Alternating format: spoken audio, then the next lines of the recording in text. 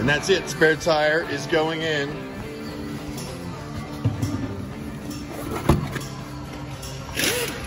Into our little space. And we are rolling. Thank you, George. You're a good man. Merck's Tire hooked us up. That's Palm Springs Airport. Original tire cover. Isn't that cool? I think that's cool. Of course, I had to get the essentials, and I ended up going to Tinderbox to get my cigars. Don't worry, Peter, I'm not gonna be smoking them in the car. But she's about to get fueled up. Everything's uh, in order. And here we go. Last moments of being in Palm Springs. It's been nice. I miss this weather, actually. And now I'm doing a show it to Gordon over here because I found out he likes classics. So I might sell the car, Peter, before I even get on the road.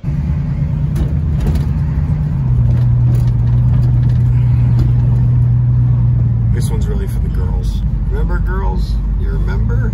I'm in Palm Springs. Cruising in style in Peter's 1973 Mustang convertible. Going to Mecum.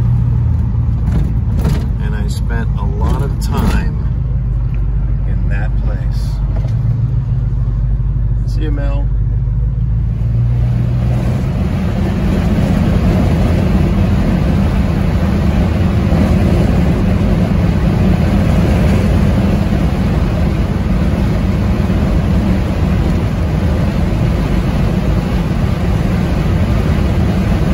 We're rolling.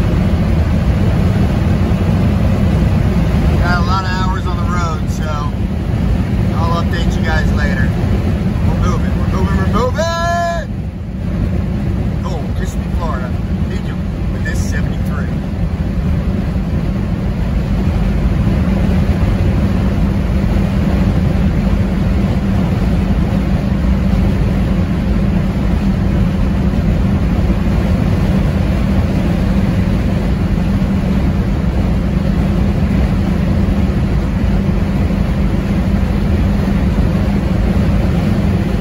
All right, this is the first inspection in Blythe.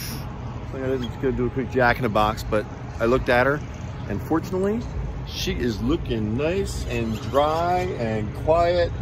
Nothing is in her is sizzling or bubbling or popping. So we're looking very good for the trip. Good first check after a good run. All right, we're gonna eat. Gonna smoke a cigar out of the car, and then we're back on the road again. Looks like a bunch of travelers. Mustang Medic.